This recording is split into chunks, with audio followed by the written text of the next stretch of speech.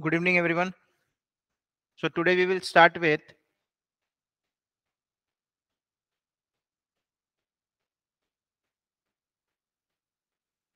financial management.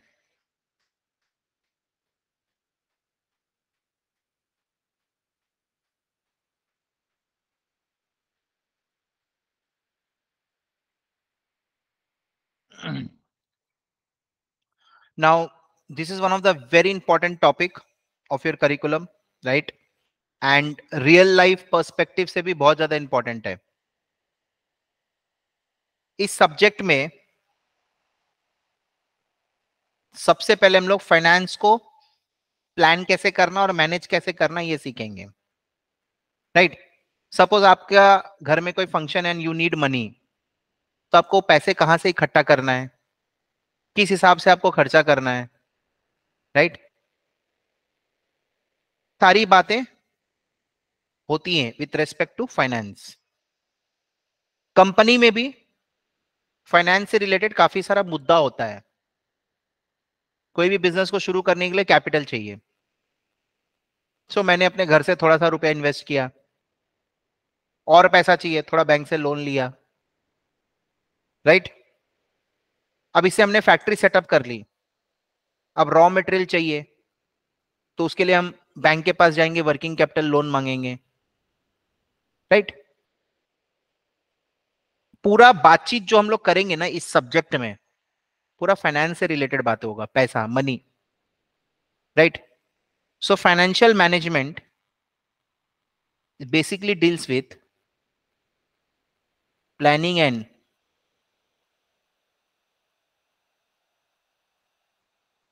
controlling the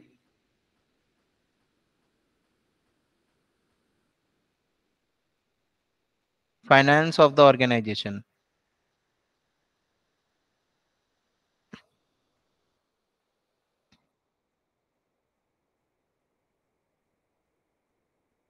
Money finance in short तुम लोग समझ के चलो money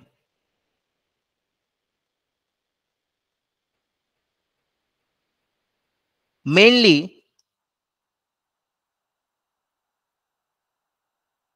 our concern is how to raise finance right? And where to invest the money ये मेरा primary concern होता है। इसके अलावा और भी बहुत सारे कंसर्न है but these two are the main concern right financial accounting completely deals with recording of transaction and ultimately हमारा ऑब्जेक्टिव होता है पीएल बैलेंस शीट बनाना। कॉस्ट एंड मैनेजमेंट अकाउंटिंग का कॉस्ट अकाउंटिंग का ऑब्जेक्टिव क्या है? To calculate the cost of the product costing करना। Management accounting का ऑब्जेक्टिव क्या है? डिसीज़न मेकिंग प्रोसेस में हेल्प करना। Right right? वैसे फाइनेंशियल मैनेजमेंट जो सब्जेक्ट होता है ना, वो पुअरली फाइनेंस मैटर्स से डील करता है।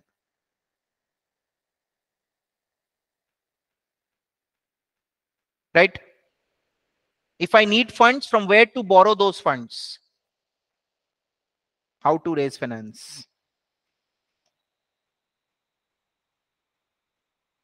And if I want to invest, where to invest the money? Generally ये दो क्वेश्चंस हमारे दिमाग में आता है जब कभी भी हम फाइनेंस से रिलेटेड बात करेंगे ना these two are the main concern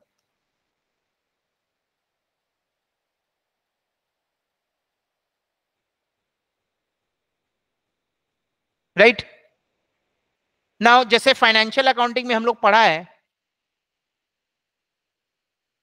कि जब भी अपने ट्रांजैक्शन को रिकॉर्ड करते हैं अल्टीमेटली हमारा ऑब्जेक्टिव क्या है? प्रॉफिट निकालना। है ना? वो प्रॉफिट निकाल के शेयर होल्डर को रिपोर्ट करना।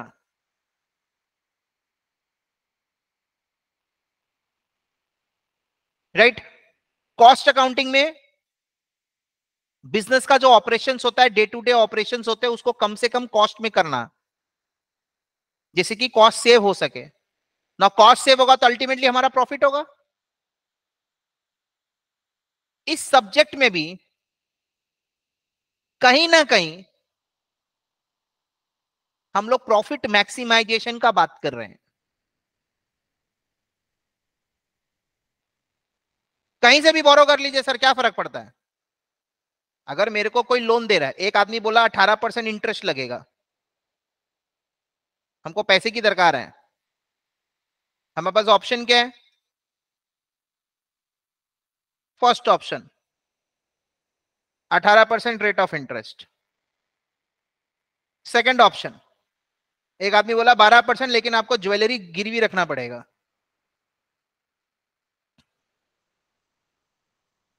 राइट थर्ड ऑप्शन ऐसे करके आपको मल्टीपल ऑप्शंस होगा।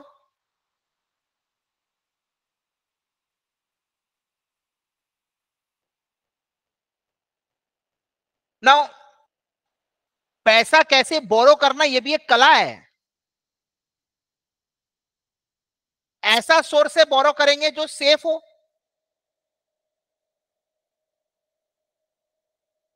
और जिसमें मेरा कॉस्ट सबसे ज़्यादा कम लगे, क्योंकि अल्टीमेटली कहीं ना कहीं हम लोग प्रॉफिट मैक्सिमाइज करने का बात कर रहे हैं। पैसा कहीं भी मत लगाओ।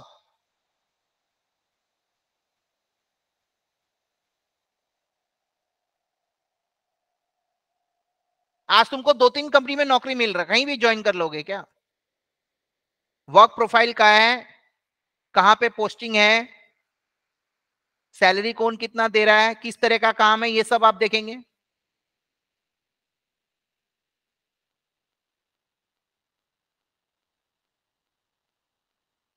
यहाँ पहला ऑप्शन में 18 परसेंट मांग रहा बोलता कुछ गिरवी रखने का दरकार नहीं है। दूसरा ऑप्शन में बोलता आपको गिरवी रखना पड़ेगा कुछ। तीसरा वाला आदमी बोलता है नहीं, आपको प्रॉफिट में साझेदारी देनी पड़ेगी।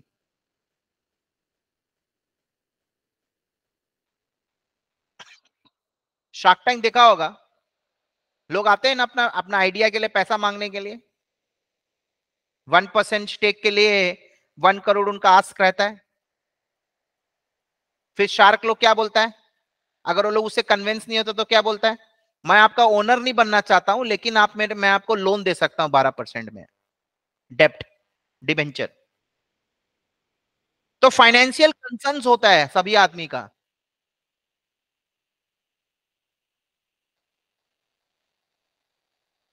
Right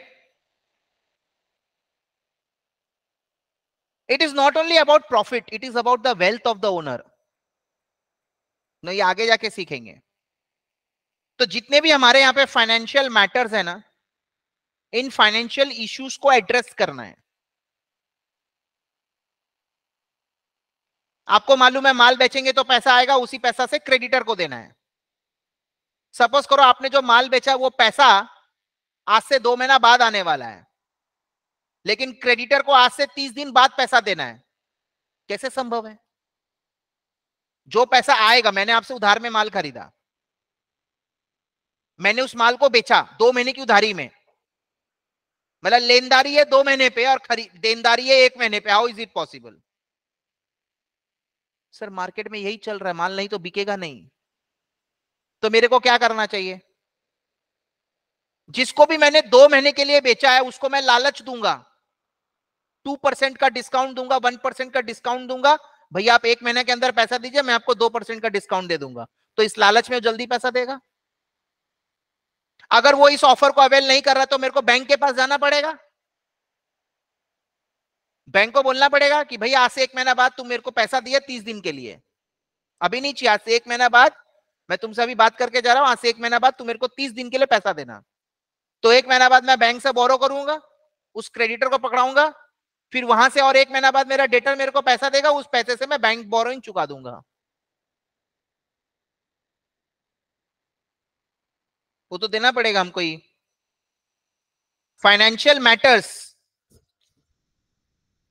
को मेरे को डील करना है यहाँ पे। कैसा भी फाइनेंशियल मैटर्स आ सकता है। तो ये सब्जेक्ट में पूरा का पूरा फाइनेंशियल मैटर्स डिस्कस होगा।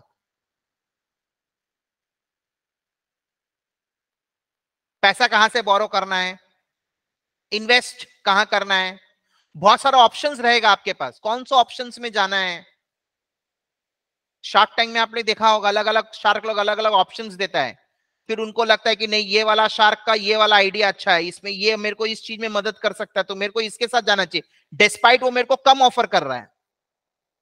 डिस्पाइट वो मेरे से ज़्यादा स्टेक मांग रहा है, फिर भी मैं उसके ऑप्शन में जाता हूँ, क्योंकि मेरे को मालूम है मेरा प्रॉब्लम का सोल्यूशन ये बंदा ये बंदा नहीं है।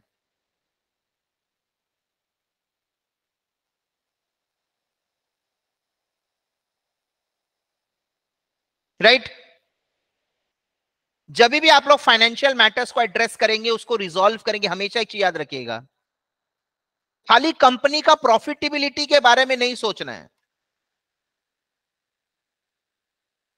ना। शेयर होल्डर का वेल्थ के बारे में सोचना है। The objective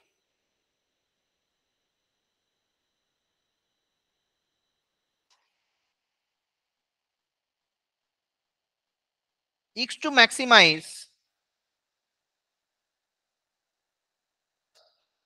Wealth of the shareholder. ये बात अभी उतनी समझ में नहीं आएगी बट धीरे धीरे आपको समझ में आएगी। अभी आप इसको सिंपल सा समझो। Broader concept than profit profit से बड़ा कॉन्सेप्ट है। हम लोग फाइनेंशियल अकाउंटिंग में प्रॉफिट निकालते हैं शेयर होल्डर को कम्युनिकेट करते हैं।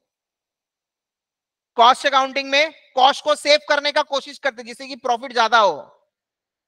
यहाँ पर भी फाइनेंशियल मैटर्स पे बातें होंगी, उनको रिजॉल्व करूँगा। अल्टीमेटली कंपनी का प्रॉफिटेबिलिटी बढ़ेगा। बट कहीं ना कहीं आप लोग ये देखेंगे कि प्रॉफिटेबिलिटी खाली ऑब्जेक्टिव नहीं है। जिस बंदे ने पैसा लगाया, उसका नेटवर्थ इंक्रीज होना चाहिए। सर नेटवर्थ तो प्रॉफिट से इंक्रीज होता है। हमने अकाउंट्स में पढ़ा ड्यूअल एस्पेक्ट कॉन्सेप्ट में increase in profit means the growth लेकिन मैं आपको दिखाऊँगा same company same capital same product same profit but एक कंपनी का शेयर होल्डर का नेटवर्थ दूसरे से ज़्यादा है।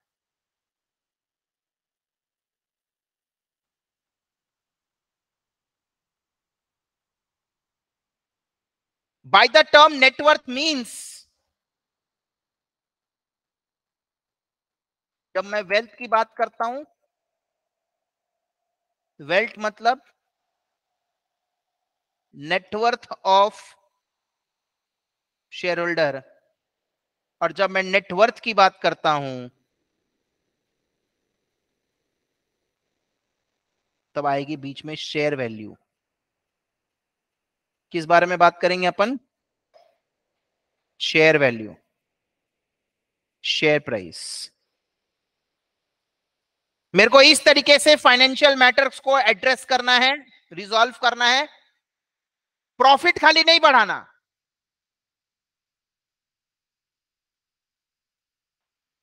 पर शेयर होल्डर अर्निंग्स बढ़ाना है। कंपनी का प्रॉफिट खाली नहीं बढ़ाना है। Right? Per share holder earning should increase. Per share holder earning बढ़ेगा अल्टीमेटली मेरा शेयर प्राइस बढ़ेगा।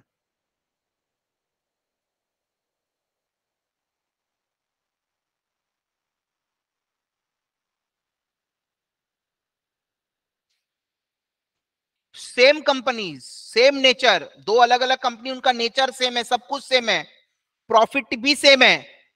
बट ये देखा जाएगा कि किसी एक कंपनी का अर्निंग पर शेयर दूसरे से ज़्यादा है और जिसका अर्निंग पर शेयर दूसरे से ज़्यादा है, उसका शेयर प्राइस भी दूसरे से ज़्यादा होगा।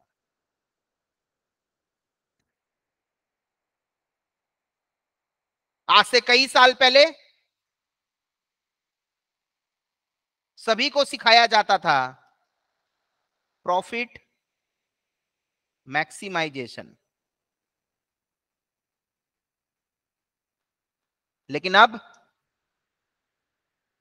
profit maximization is not the objective. Wealth maximization is the objective.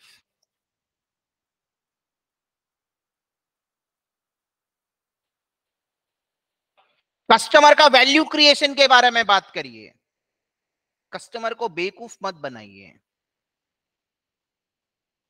आज अपन को प्रॉफिट मैक्सिमाइज करना है। तो हम क्या करेंगे? क्या करेंगे हम? बोलिए। Inferior quality raw material use करेंगे।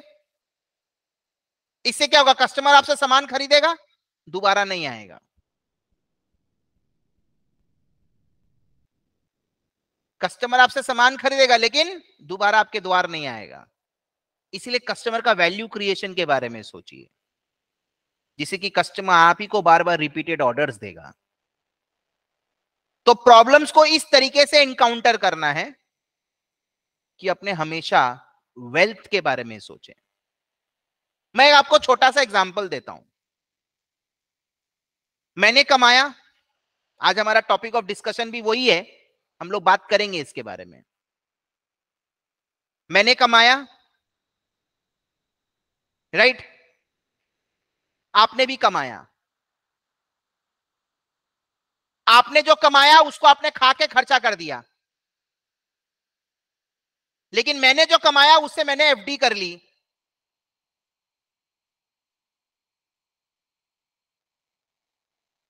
गवर्नमेंट सिक्योरिटी खरीद लिया। पोस्ट ऑफ़िस सेविंग बैंक में इन्वेस्ट कर दिया। एनएससी खरीद लिया, नेशनल सेविंग सर्टिफिकेट। इन सब में हमको ब्याज मिलता है। अब बात बताओ, अगले साल किसके पास किसका नेटवर्थ ज़्यादा होगा? मेरा। क्योंकि आपने जो कमाया, आपने खर्चा कर दिया, लेकिन मैंने जो कमाया, उसको मैंने इन्वेस्ट किया है सेविंग किया है। आमदनी अठन्नी, खर्चा रुपया। और आमदनी रुपया, खर्चा अठन्नी। किसका नेटवर्थ ज़्यादा आएगा? जिसका आमदनी रुपया है, खर्चा आधा है। कॉमन सेंस का बात है ये। बचाओगे तब ना घर बंगला गाड़ी खरीदोगे। बचेगा ही नहीं कुछ। तो घर गाड़ी कहाँ से खरीदेंगे? अगले साल फिर आपने कमाया, आपने खर्चा कर दिया। मैंने उसमें भी बचा के उसको इन्वेस्ट किया। अब बताओ नेटवर्थ किसका ज़्यादा? तो वेल्थ का मतलब समझ में आ रहा है। कमा दोनों रहे हैं। दोनों का अर्निंग सेम है, लेकिन वेल्थ मेरा ज़्यादा है। तो प्रॉफिट मैक्सिमाइजेशन के बारे में बात नहीं करेंगे हम लोग यहाँ पे। प्रॉफिट मैक्सिमाइजेशन के बारे में बात नहीं होगी यहाँ पे। कंपनी में भी सेम हालात होते हैं। कंपनी कमाती है, फिर शेयर होल्डर को डिविडेंड बांटती है। शेयर होल्डर क्या बोलेगा मालूम है? आप मुझे ये पैसे देंगे, मैं इन पैसों को खर्चा कर दूँगा। इससे अच्छा आप अपने पास ही रखिए, हमारे बिज़नेस में इसको री इन्वेस्ट करिए, तभी ग्रोथ होता है। तभी ग्रोथ आएगा, वही चीज़ आज हम लोग बात करेंगे। That only I will prove today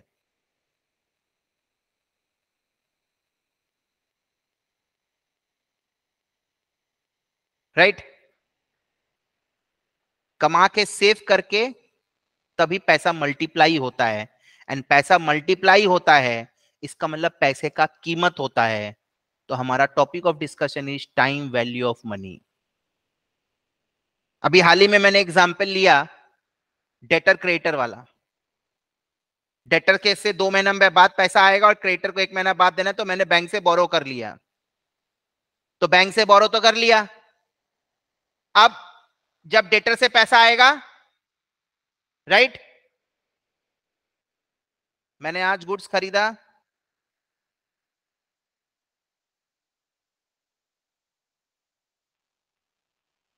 और आज ही बेच दिया। परचेज किया था वन मंथ में, बेचा टू मंथ में।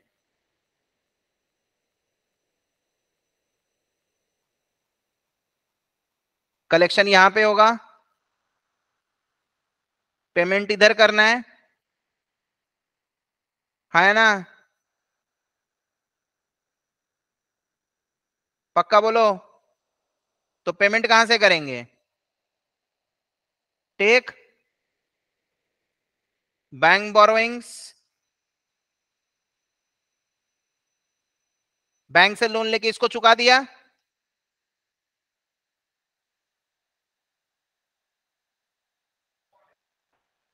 हाँ है ना? अब नेक्स्ट क्या होगा?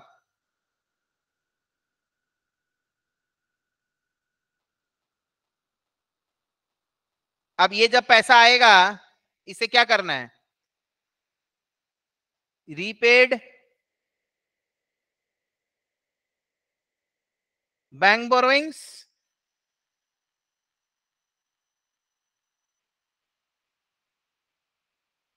इंटरेस्ट आज मैंने इसका पैसा एक महीना तक यूज़ किया है।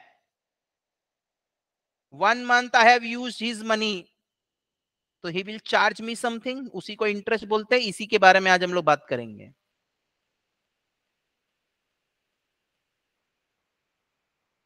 हम दोनों कमा सेम रहे हैं, तुम खर्चा कर दे रहे हो, और मैं उससे एफडी कर रहा हूँ। मेरा नेटवर्क तुमसे ज़्यादा कैसे हो सकता है? होगा। राइट?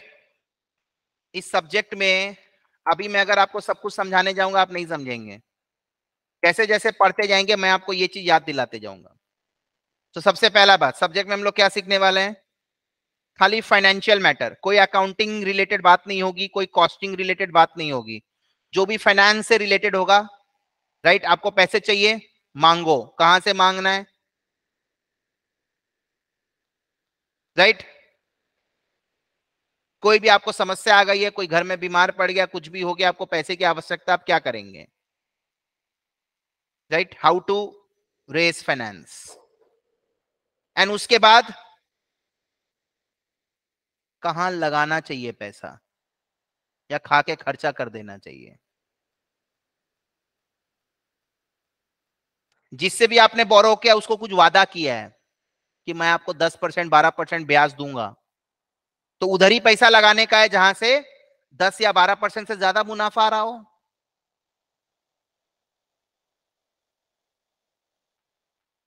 राइट? कभी भी हम लोग प्रॉफिट मैक्सिमाइजेशन के बारे में बात नहीं करेंगे। हमेशा बात होगा वेल्थ मैक्सिमाइजेशन के बारे में। ये थोड़ा प्रॉफिट से ब्रॉडर कॉन्सेप्ट है। वेल्थ मतलब नेटवर्थ नेटवर्थ मतलब share value of the company मतलब अर्निंग पर शेयर बढ़ाना ये हम लोग देखेंगे।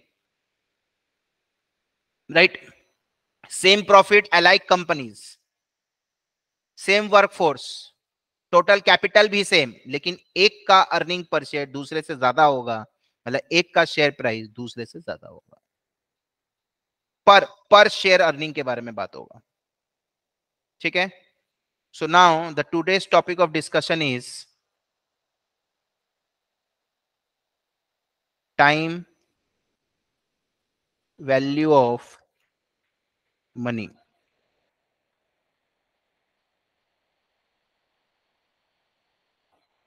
money has value time value of money ऐसा क्यों होता है? सपोज़ करिए हमारे पास सौ रुपया है। ये सौ रुपए से हम एक किलो राइस खरीद पाएँगे आज।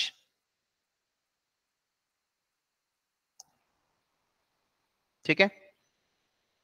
लोग क्यों इंटरेस्ट मांगते हैं? क्यों इंटरेस्ट लेते हैं? वन ईयर लेटर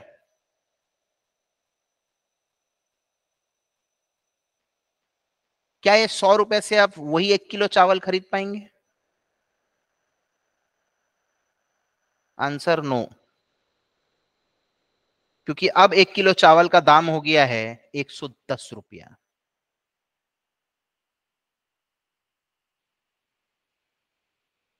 अब एक किलो चावल का दाम हो गया है एक सौ दस रुपया। तो क्या मैं बोल सकता हूँ? Purchasing power of money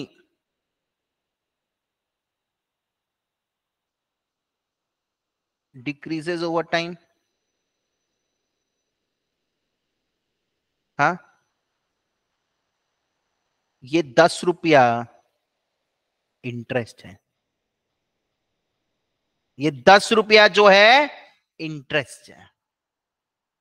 अगर मैं किसी को दस रुपया ब्याज में देता हूँ लोन में देता हूँ, उधारी देता हूँ तो मैं उसको बोलूँगा, एक साल बाद तू मेरे को एक सौ दस लौटाएगा क्योंकि आज मैं इस सौ रुपए से एक किलो चावल खरीद सकता हूँ। कितना? एक किलो चावल मैं खरीद सकता हूँ। वही एक किलो चावल अगर मेरे को एक साल बाद खरीदना है, क्योंकि महँगाई इन्फ्लेशन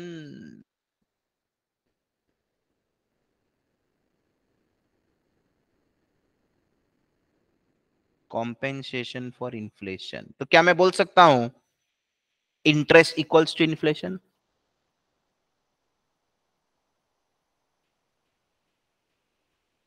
इसी को बोलते हैं money has time value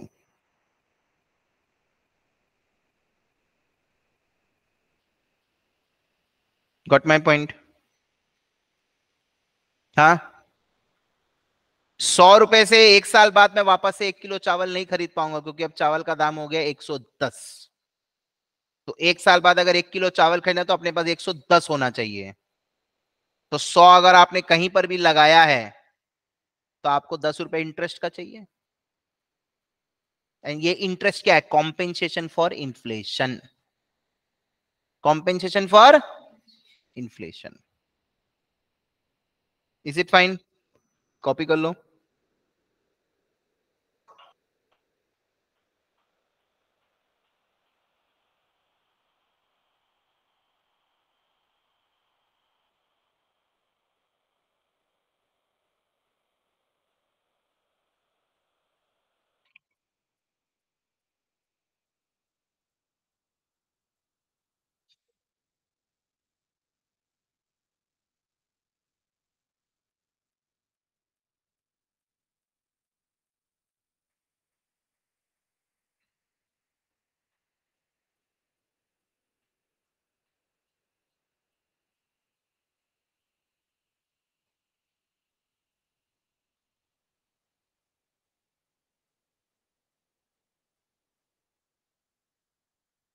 ठीक है?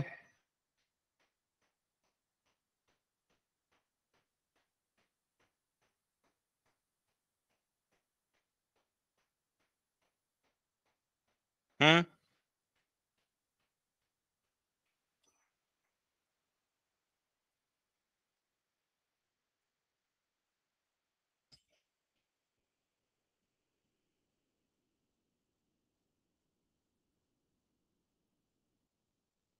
Done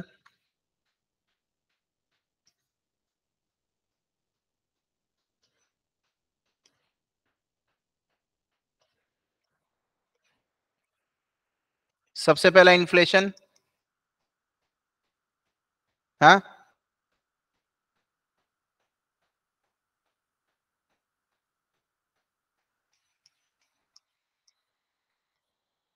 preference of consumption i'd like to consume today rather than future कल को हम हो ना हो। टाइम वेल ऑफ़ मनी का इंपॉर्टेंस समझना पड़ेगा।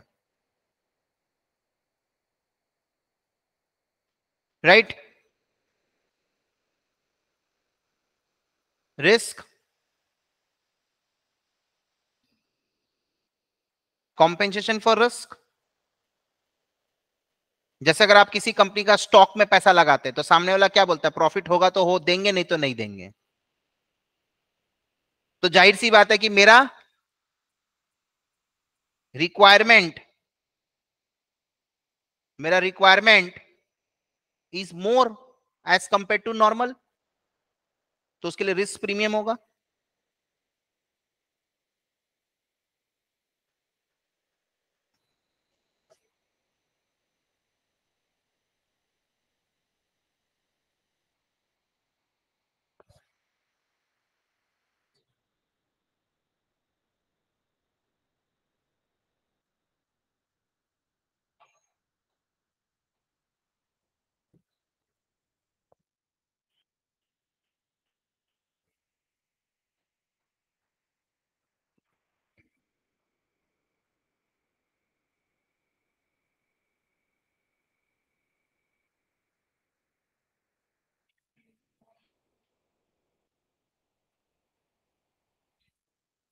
ठीक है? हम्म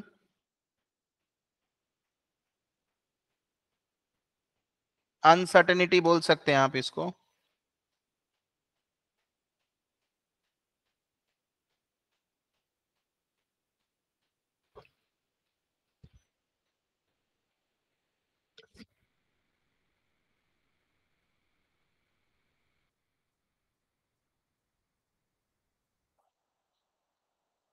क्लियर ना इंटरेस्ट भी दो टाइप का होता है।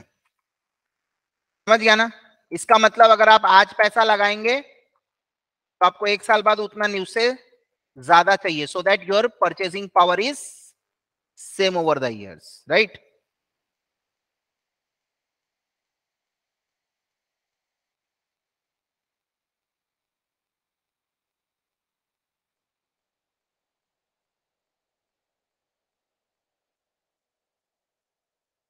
a person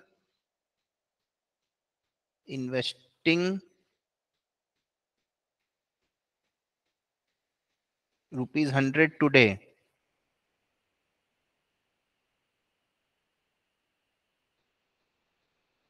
would like to recover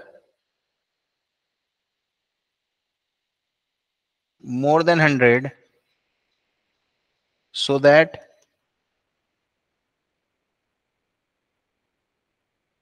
its purchasing power.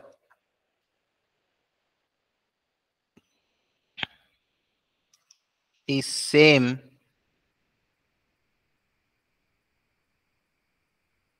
After one year जब भी उसको कंज्यूम करना है। ठीक है? A person investing rupees 100 today would like to recover more than 100 so that its purchasing power is same after one year.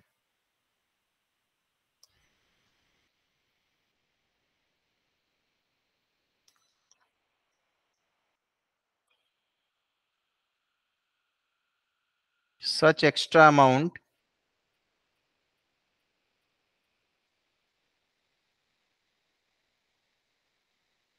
is known as interest.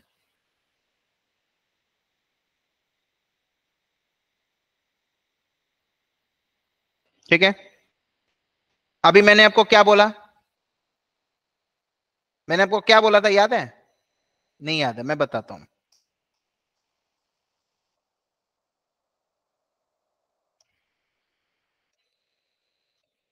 Discount offered to debtors. Is also interest. है ना? मैंने बताया था ना आपको? एक महीना बाद क्रेडिटर को देना है।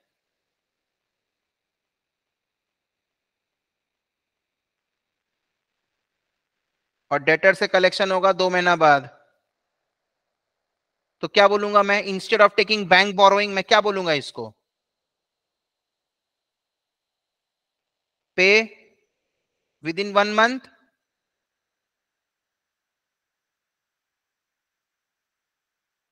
two percent discount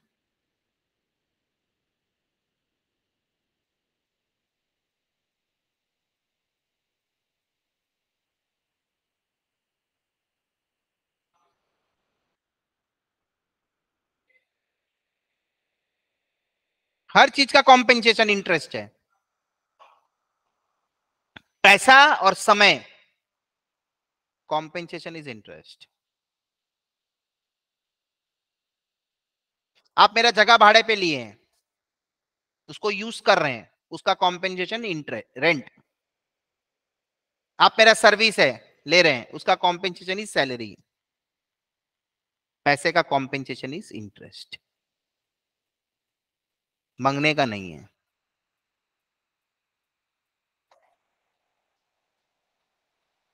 यस और नो तो जिसने पैसा लगाया है, उसको ब्याज मिलेगा।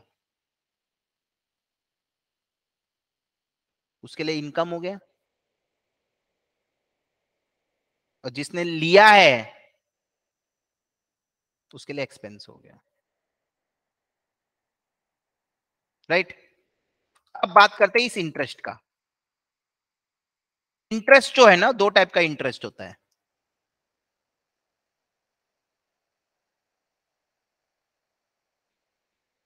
ये तुम लोग मैथमेटिक्स में पढ़ा होगा। एक आपका सिंपल इंटरेस्ट होता है। एक आपका कंपाउंड इंटरेस्ट होता है।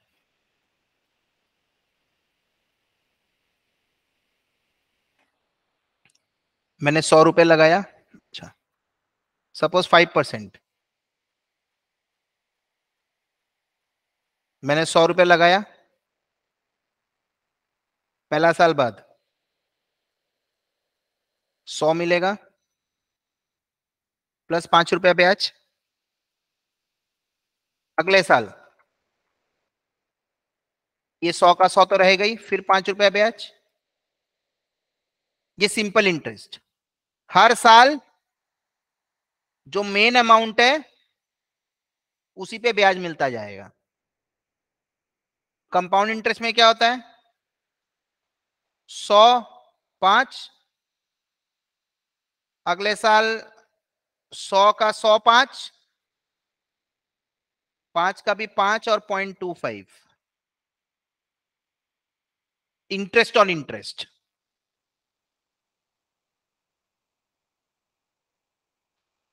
और ये होने से ही ग्रोथ होता है। वेल्थ मैक्सिमाइज होगा। आज शेयर होल्डर क्यों बोल रहा है कि आप अपना, मेरा पैसा अपने पास रखिए? उसको मालूम है, मैं अगर पैसा ले लिया डिविडेंड के तौर पे तो मैं अपने पैसे को उस हिसाब से मल्टीप्लाई नहीं कर पाऊँगा, जिस हिसाब से कंपनी मल्टीप्लाई कर पाएगी। तो यहाँ पे प्रॉफिट देखा जा रहा है कि वेल्थ देखा जा रहा है।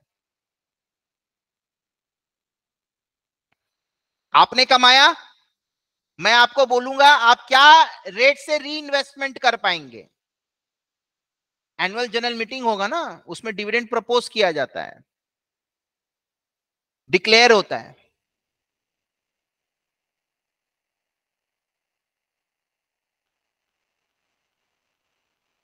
तो उसके पहले चर्चा होगी। क्या कंपनी के पास में कोई री इन्वेस्टमेंट अपॉर्चुनिटी है? क्या कंपनी इसको कहीं इस्तेमाल कर सकती है? क्या कंपनी के पास में कोई एक्सपेंशन का सोच है?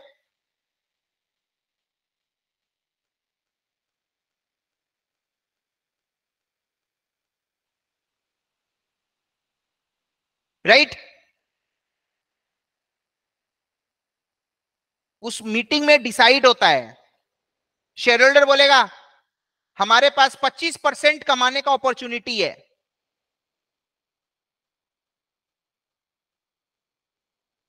कंपनी बोलेगी, साहब, हमारे पास तो 20 परसेंट ही कमाने का अपॉर्चुनिटी वाला व्यवस्था है। तो शेयर होल्डर क्या बोलेगा, एक काम करिए, जितना ज़्यादा से ज़्यादा डिविडेंड बांटिए। ऐसा करने से क्या होगा? नेक्स्ट ईयर कंपनी का प्रॉफिट उतना ज़्यादा बढ़ेगा नहीं। लेकिन प्रॉफिट ऑब्जेक्टिव नहीं ऑब्जेक्टिव क्या है? वेल्थ पैसा को मल्टीप्लाई करना है। तो वो कंपाउंड इंटरेस्ट में ही हो सकता है। यहाँ पे सौ पे ही हर साल मिलता जाएगा। लेकिन यहाँ पे ईयर टू में सौ पे तो मिल ही रहा है। पाँच पे भी मिलेगा। तो ब्याज एज इट इज़ आएगा प्लस ब्याज का ब्याज। फाइव परसेंट राइट इसका फॉर्मूला है, यहाँ पे इंटरेस्ट होता है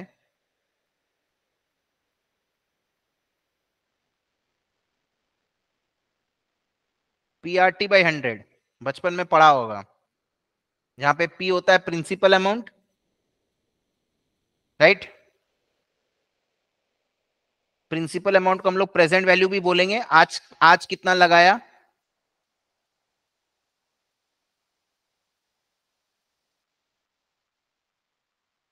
R by hundred is rate of interest and T is equals to time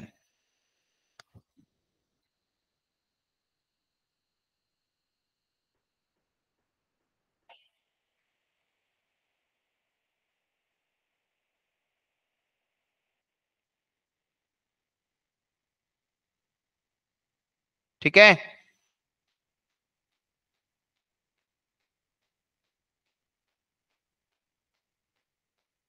What is maturity value?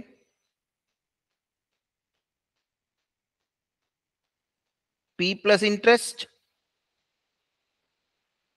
Maturity value को एक्यूमुलेटेड वैल्यू भी बोलता है ये लोग। फ्यूचर वैल्यू भी बोलता है।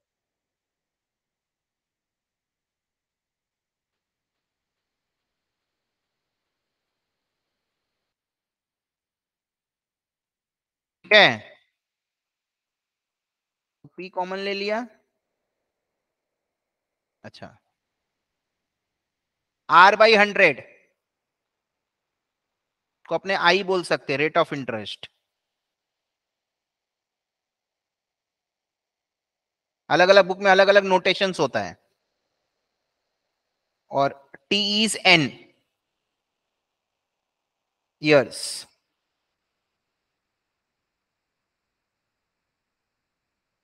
तो अपन बोल सकते हैं future value equals to present value into one plus I N तो अपन सौ रुपया लगाया। है ना?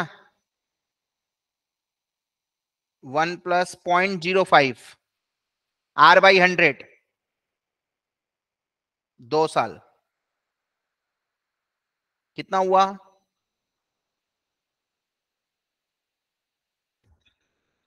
Hundred into one point one. देखो, एक सौ दस आया। Just check, hundred and ten आया।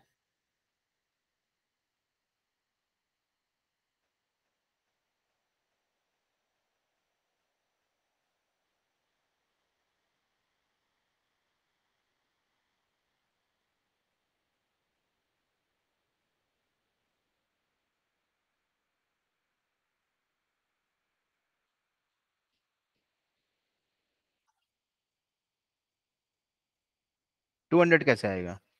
Point zero five into two करेंगे तो पॉइंट वन आएगा।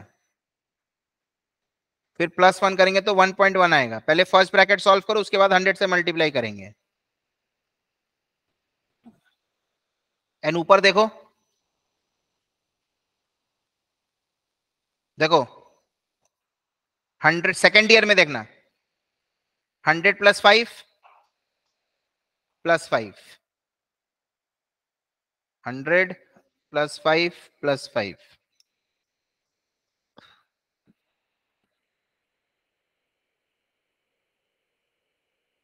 Right?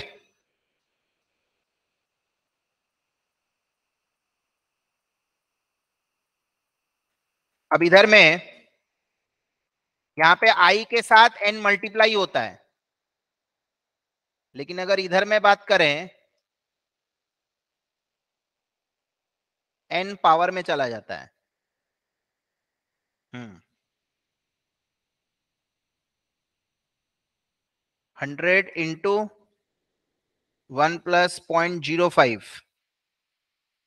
N यहाँ पे टू है मेरा एग्ज़ाम्पल में। Hundred into one point zero five का स्क्वायर। अब कैलकुलेटर में बहुत आसान है। टाइप करेंगे 1.05 point zero five into equals to. ठीक है तो ये दो साल का आया। So hundred into one point one zero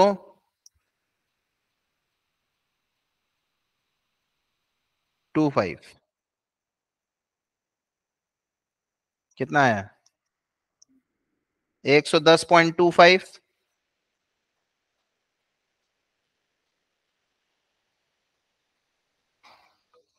हाँ ना? देखो, जोड़ो। ये सबको जोड़ो सेकेंड ईयर वाला को।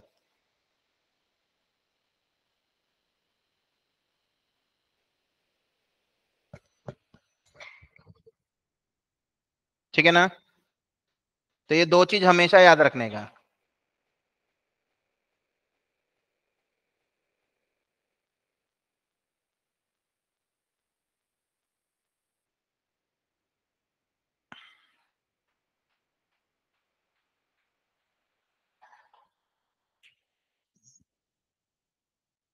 ठीक है?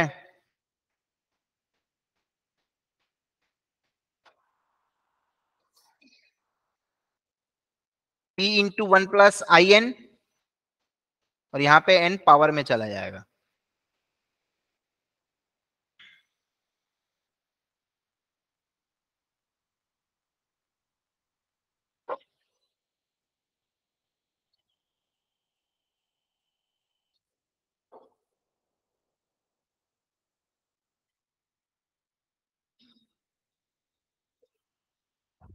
ठीक है?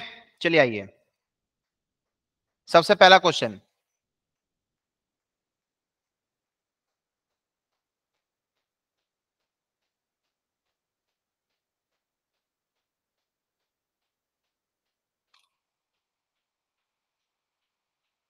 अच्छा ये तो अच्छा ठीक है।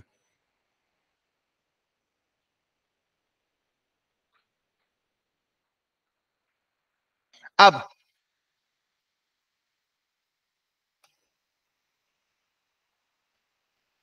ये वाला हो गया ना?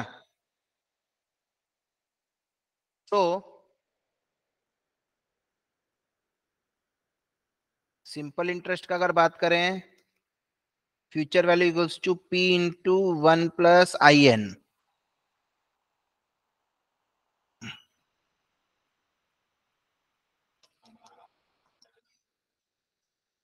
right? हाँ? तो इसको बोलते हैं कंपाउंडिंग क्या बोलते हैं? पी को फ्यूचर में लेके जाना है।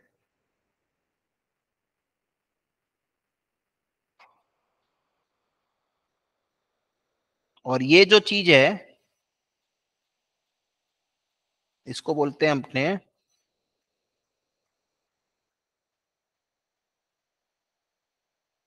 कंपाउंडिंग फैक्टर ये जनरली एग्ज़ाम में नहीं पूछता, ये बहुत सिंपल है। इसको एक बार साइड रखो। इसमें नॉर्मल मल्टीप्लीकेशन है पावर का खेला नहीं है।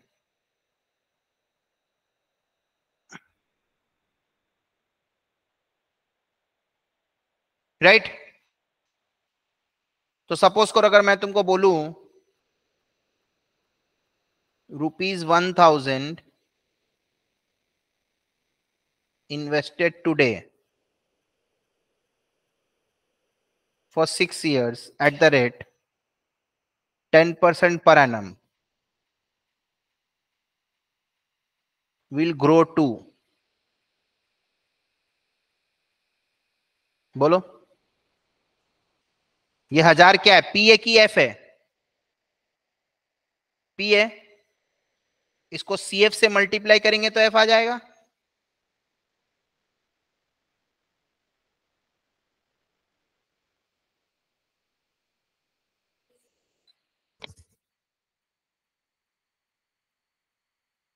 राइट क्लियर तो करना क्या है? F equals to P into one plus I to the power N P हज़ार है। I point one factor decimal में, हा। एन सिक्स है। तो कैसे होगा बोलो? हज़ार into one plus point one power में सिक्स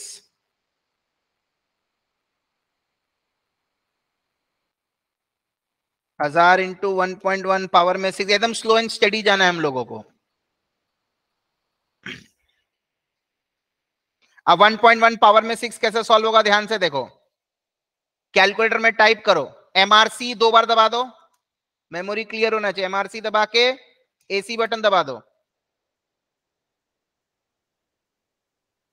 टाइप करो 1.1 पॉइंट इंटू इक्वल्स टू मतलब पावर में दो हो गया है। अब जितना बार इक्वल टू दबाएँगे एक एक पावर बढ़ता जाएगा। Equal to one point three three one आ रहा है। इंटू इक्वल टू करने से पावर में टू हुआ। फिर अपने को सिक्स तक जाना है। इक्वल टू दबाए तो थ्री हुआ। इक्वल टू फोर हो गया, इक्वल टू फाइव हो गया, इक्वल टू सिक्स हो गया। तुम तुम लोग बताओ वैल्यू क्या आ रहा है? हज़ार into one point very good seven seven one तो ये आएगा rupees one seven seven one approx तो हज़ार रुपये अगर आज इन्वेस्ट करोगे दस परसेंट में तो ये ग्रो करके सत्रह सो इकहत्तर हो जाएगा। अब ये जो रेट ऑफ़ इंटरेस्ट है, इसमें तुम इन्फ्लेशन लो रिस्क कंसीडर करो, ये तुम्हारे ऊपर में। कि तुमने इस रेट में क्या क्या कंसीडर किया ये मेरा लुकआउट नहीं है। अपन को रेट निकालना क्या है, उसमें क्या क्या कंसीडर करना है, वो नहीं। रेट दिया रहेगा, करने का है काम।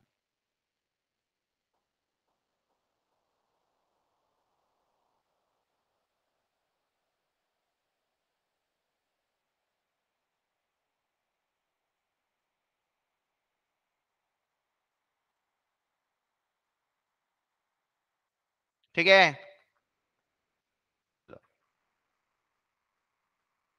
एक और एग्जांपल देखते हैं। Rupees one thousand invested today for six years per annum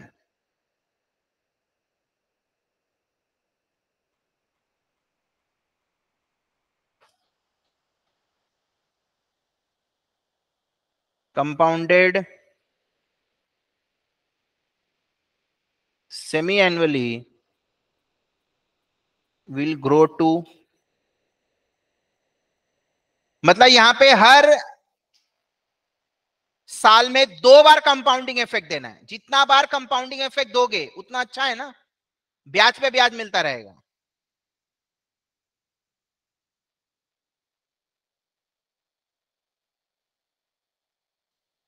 तो यहाँ पे फ्रीक्वेंसी साल में कितना है? एक बार है कि एक से ज़्यादा बार है?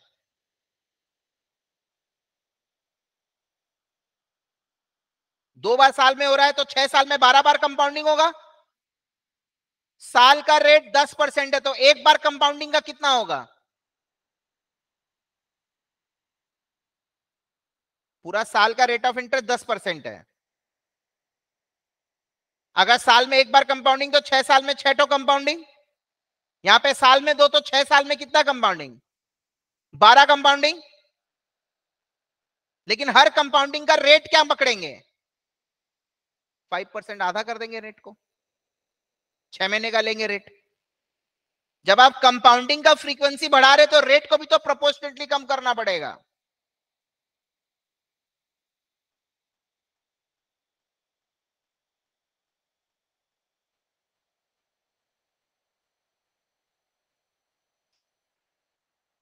तो इसमें क्या होता है, मैं आपको बताता हूँ। F equals to P into one plus I by M power में N M where M equals to number of times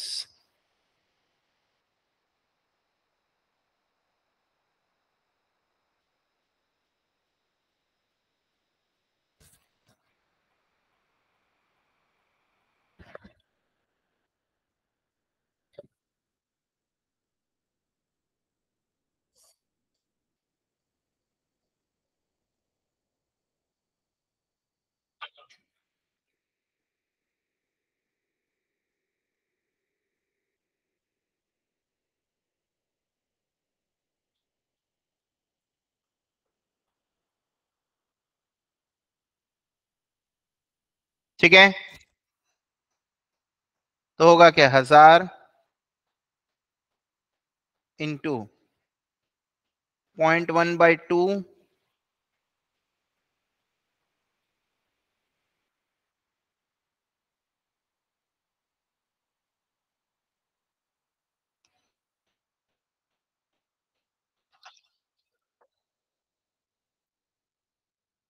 तो मैं कोई मेरा सेकंड लाइन छुपा दूँ मैं अगर किसी से?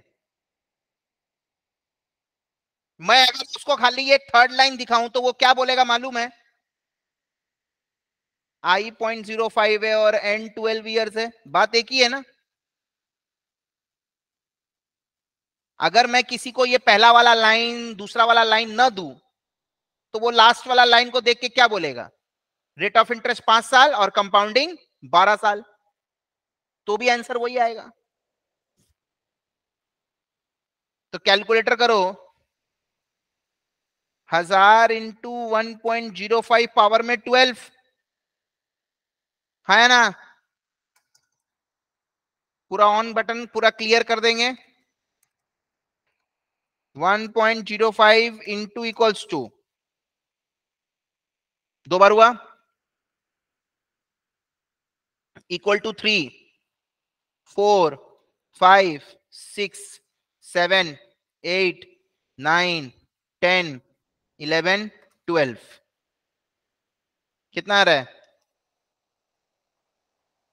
One point seven nine six ले लो approx.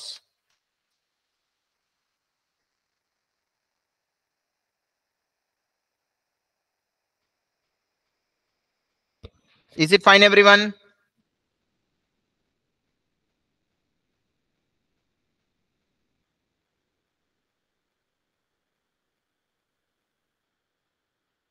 ठीक है? तो अभी हम लोग क्या कर रहे हैं? पी को एफ़ में लेके जा रहे हैं। जैसे फिक्स डिपॉजिट ऐसे ही होता है ना?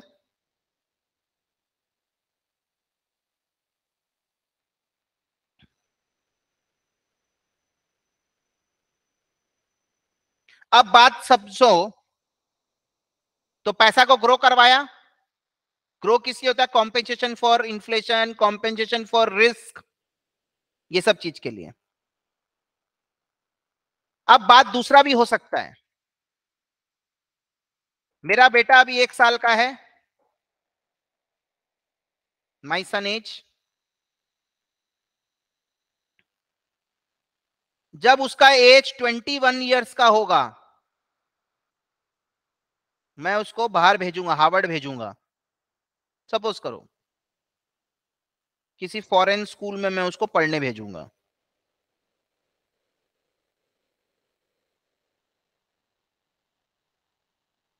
राइट? right? ऐसा उसकी मम्मी बोलती है, हमको कोई मतलब नहीं है। हम जिस स्कूल में भेजे हम वहाँ भी भेज सकते हैं। तो वहाँ पे 80 लाख रुपया चाहिए, इंडिया रुपीज़ में।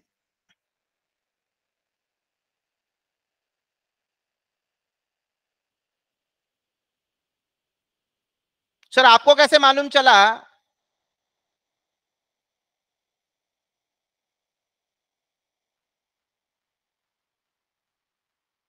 बीस साल बाद।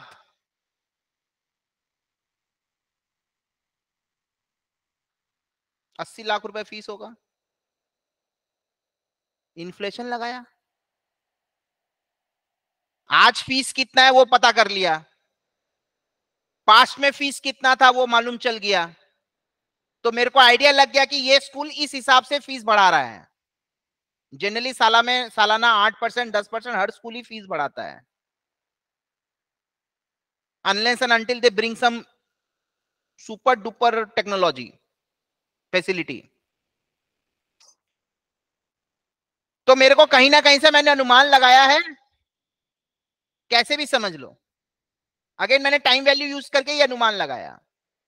अब मुद्दा वो नहीं है। ये जो आज इसका फ़ीस है बीस लाख रुपया ये ये स्कूल आज बीस लाख लेता है। तो आज से मेरा सन मेरा बेटा का एज वन है। जब वो इक्कीस साल का होगा, तब वो जाएगा पढ़ने के लिए। मतलब आज से बीस साल बाद जाएगा। आज अगर कोई पढ़ने जाता है तो उसका बीस लाख लगता है। तो ये मैंने अनुमान लगाया आज से बीस साल बाद अगर कोई पढ़ने जाएगा तो उसको अस्सी लाख रुपए चाहिएगा। कैसे लगाया ये ना पूछो। मेरा अनुमान है ये। इसमें इन्फ्लेशन इन्फ्लेशन जो मेरे को कंसिडर करना था मैंने किया है।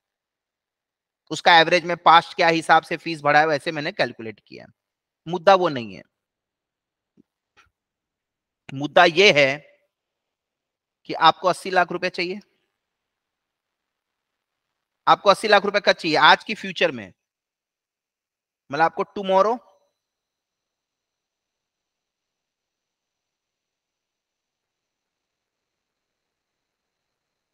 आज आप कितना इन्वेस्ट करेंगे इस एफडी में या इस इन्वेस्टमेंट में जिसे कि आपको अस्सी अस्सी लाख रुपए मिल जाए।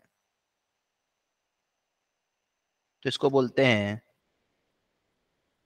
डिस्काउंटिंग क्या बोलेंगे इसको? डिस्काउंटिंग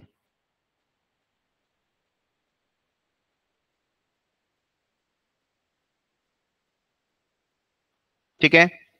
क्या बोलेंगे इसको? Discounting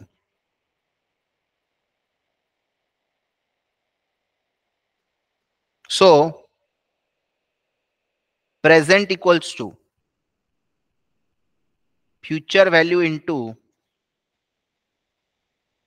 बोल सकता हूँ मैं? ये पहले पी के साथ मल्टीप्लीकेशन में था तो एफ़ आया था। अभी एफ़ है राइट तो ये वाला जो चीज़ है, इसको हम लोग बोलते हैं डिस्काउंटिंग फैक्टर इसको हम लोग बोलेंगे discounting factor this we will call it as discounting factor.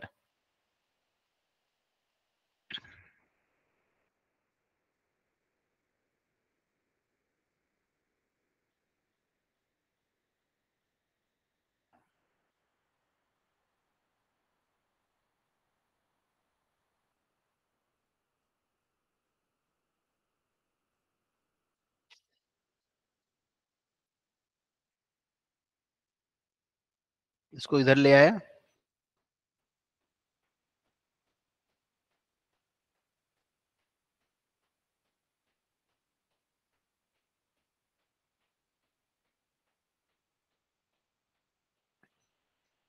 ठीक है।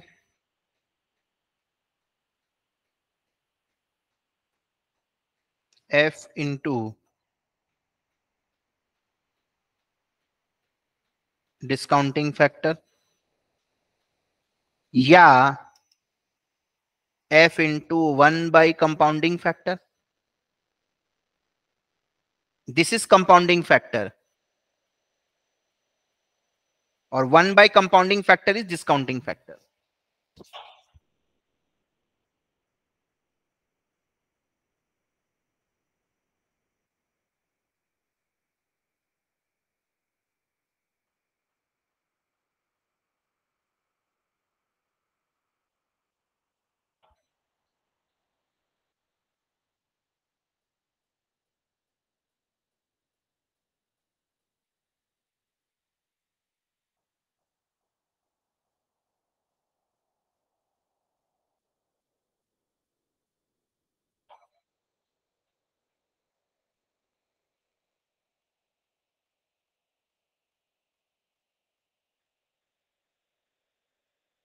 Clear आइए। हमको आठ हज़ार मिलने वाला पाँच साल बाद। इसका प्रेजेंट वैल्यू निकालना है। तो डिस्काउंटिंग फैक्टर यूज़ होगा कि कंपाउंडिंग डिस्काउंटिंग यूज़ होगा?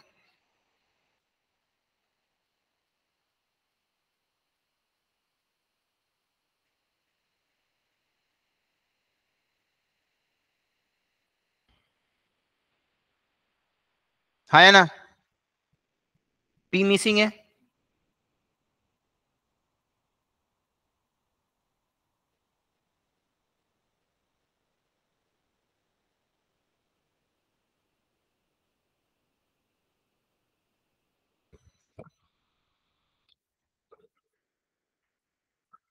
ठीक है?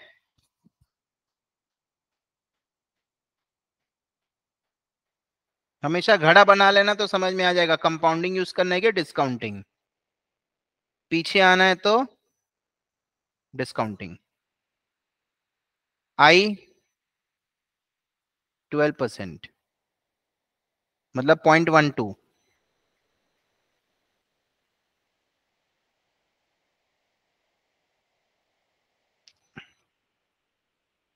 तो P is equals to F into 1 divided by 1 plus I to the power n, आठ हज़ार into one plus point one two power में फाइव अब ये डिस्काउंटिंग फैक्टर आप कैलकुलेटर में कर सकते हैं।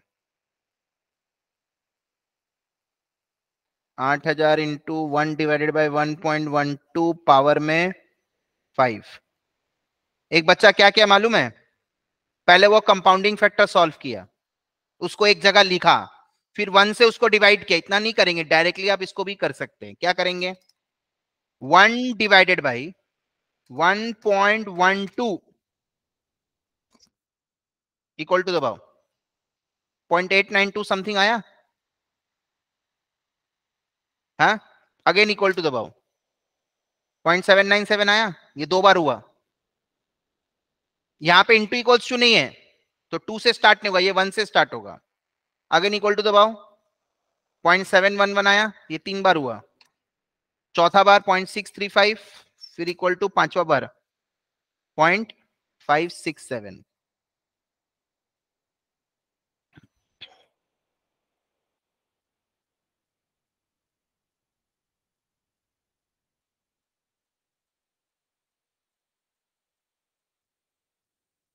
type 1 divided by 1.12 press equal to n times हो गया और ऊपर वाला में क्या था इसमें इसमें था type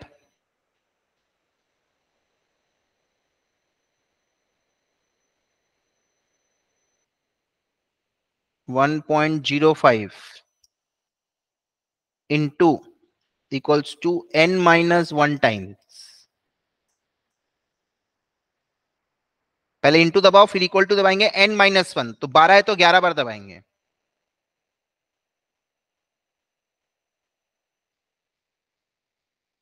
ठीक है?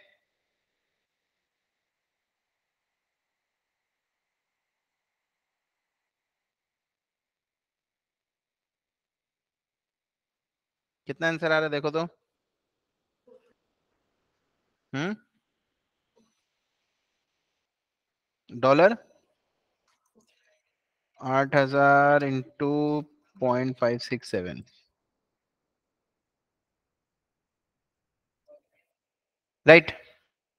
uh, you will find books they have taken up to four decimal places you can also take up to four decimal places so five six seven four अगर मैं चार डेसिमल प्लेस तक लू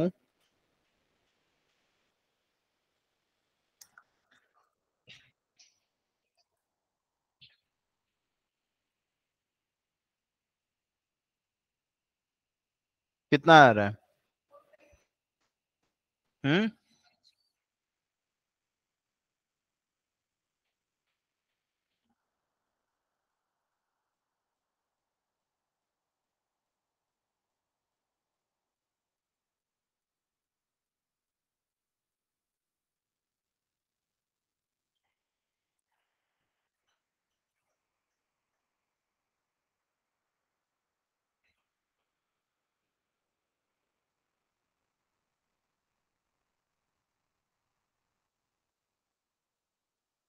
इज़ इट फाइन तो question पढ़ के समझ जाना प्रेजेंट वैल्यू निकालना है कि फ्यूचर वैल्यू निकालना है? आइए नेक्स्ट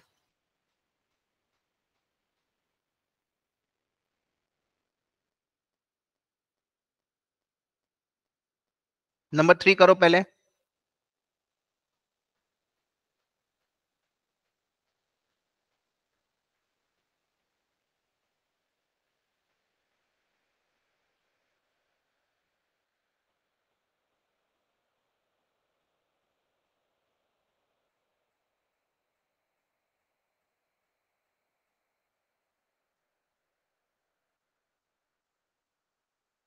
बताओ।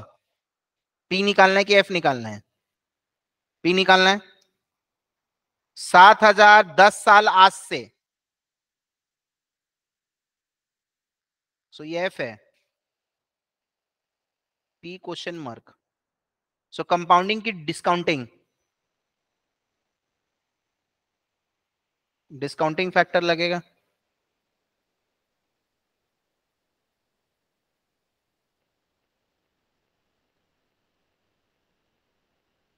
पक्का तो?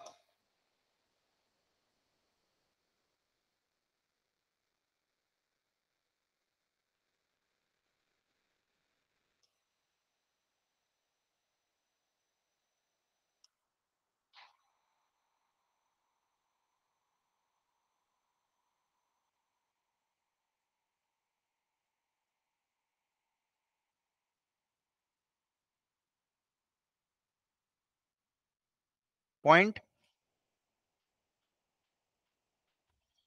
zero seven two the power ten.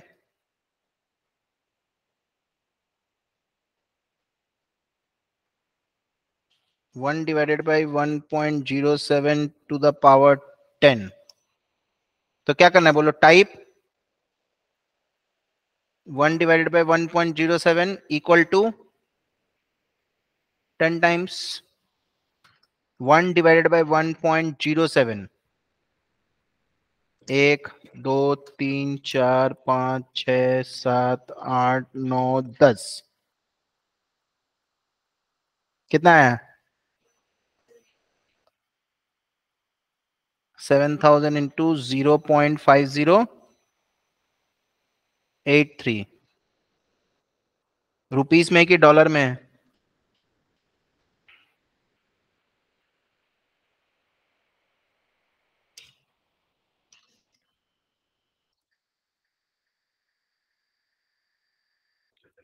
कितना आ रहा है पक थ्री फाइव फाइव तुम लोग कैलकुलेटर वाला फिगर से ही मल्टीप्लाई कर दिया होगा। जो तुम लोग यहाँ पे लिखेगा, उससे मल्टीप्लाई करना।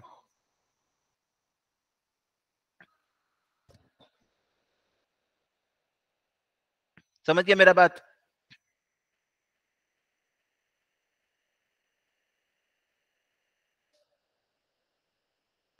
और सब में अप्रोक्स वर्ड लिख देना।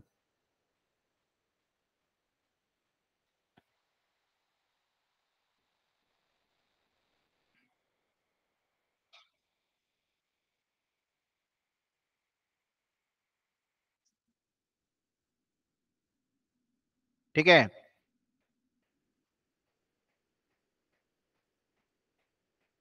Number four.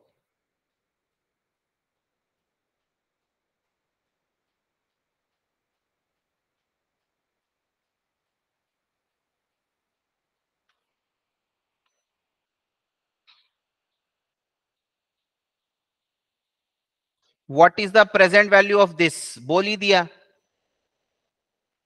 तो पी निकालना है और ये एफ़ है। एन दे दिया।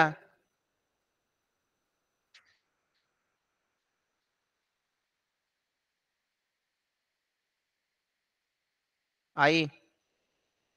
Table and factor formula इसको समझना ज़रूरी है अपने को। नाउ ये डिस्काउंटिंग फैक्टर है ना।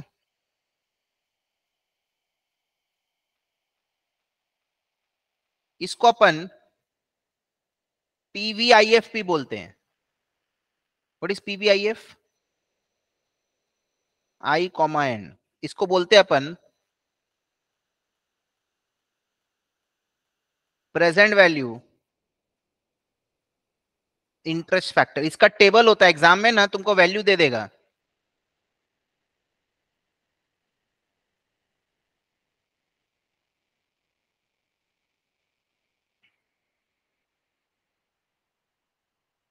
Right right. हम लोग क्या करेंगे?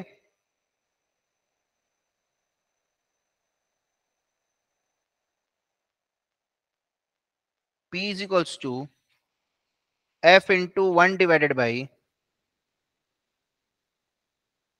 इसको क्या बोलेंगे? डिस्काउंटिंग फैक्टर पूरा को? हाँ? तो मैं बोल सकता हूँ one divided by compounding factor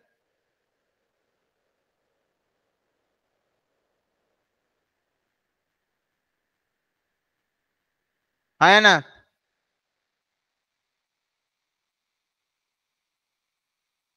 अब इसको मैं चाहूँ तो मैं ऐसे भी लिख सकता हूँ। P V I F I percent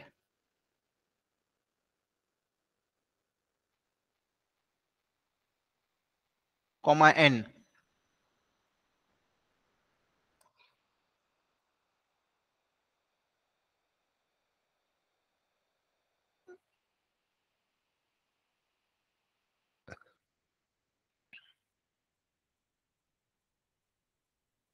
ना होता क्या है? पूरा टेबल होता है।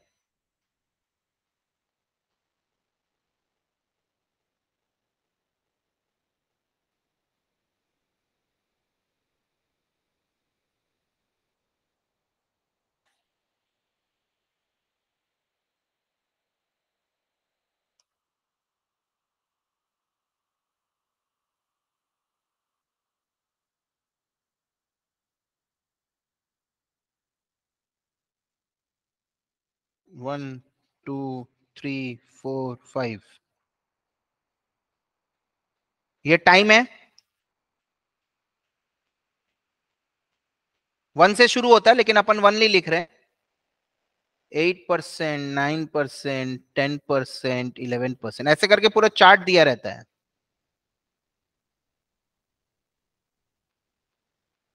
इसको अपने बोलते हैं PVIF table present value interest factor table मतलब डिस्काउंटिंग फैक्टर टेबल ऐसा करके पूरा एक शीट रहता है। अब टेन परसेंट आई तो पहले टेन परसेंट का फैक्टर बनाओ। टेन परसेंट का डिस्काउंटिंग फैक्टर क्या बनेगा, बोलो? वन डिवाइडेड बाई पावर में एन ये टेन परसेंट का डिस्काउंटिंग फैक्टर है। वैसे इलेवन परसेंट का discounting factor one divide by one point one one power में एन थर्टीन परसेंट का discounting factor one divide by one point समझ गया? ट्वेंटी परसेंट का discounting factor one divide by one point two power man समझा?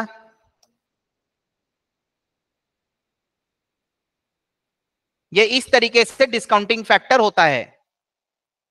अब अपन को calculator लगाना है। One divide by one point one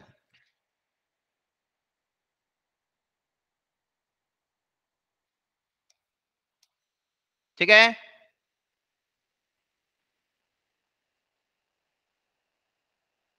equal to?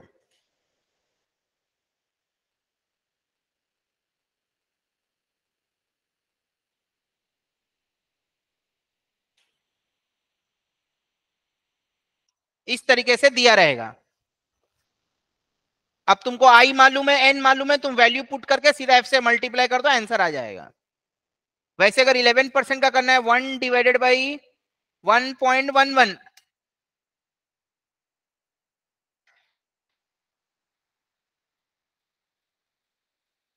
है ना?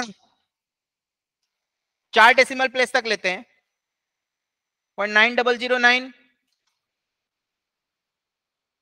point eight double one six point seven three double one point six five eight seven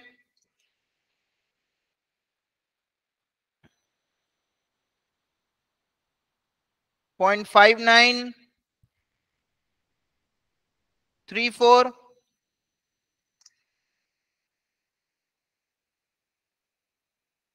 point five three six four. ये मैंने फोर डिजिट राउंड ऑफ़ नहीं किया, लोग round of करके भी लिखते हैं।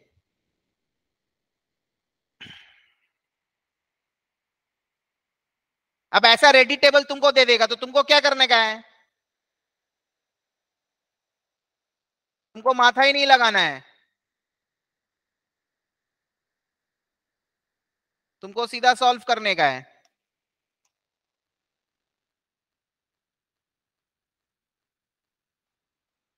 पाँच साल बाद का वैल्यू क्या है? Eighty four, two fifty three.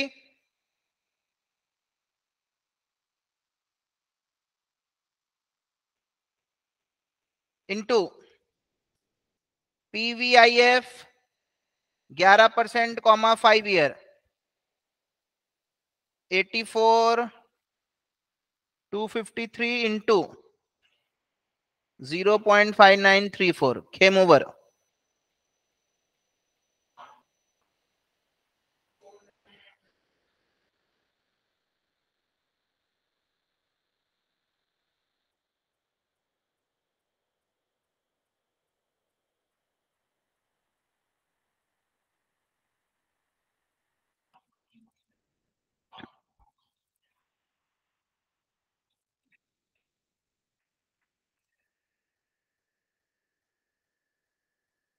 four nine nine nine six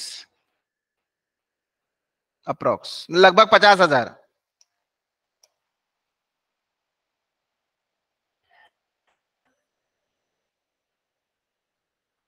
हम्म?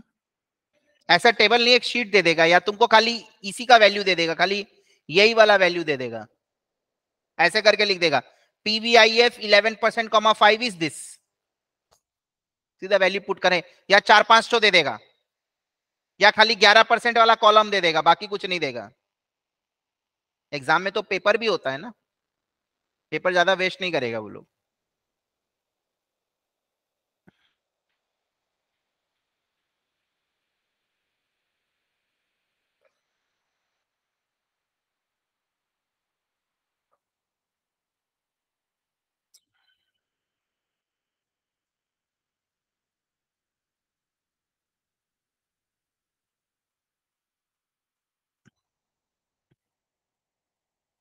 ठीक है?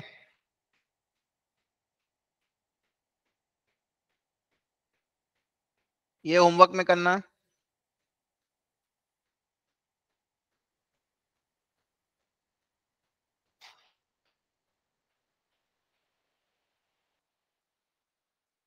ये सब जनरल टंग ट्विस्टर्स है।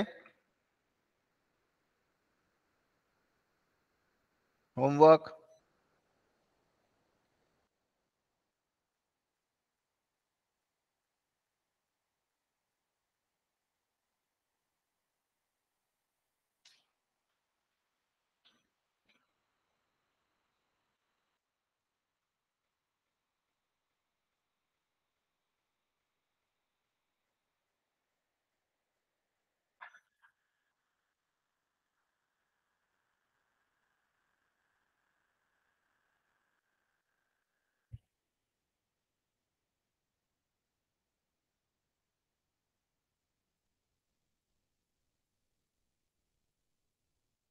नाइन वाला। जैसे होमवर्क करके आइएगा।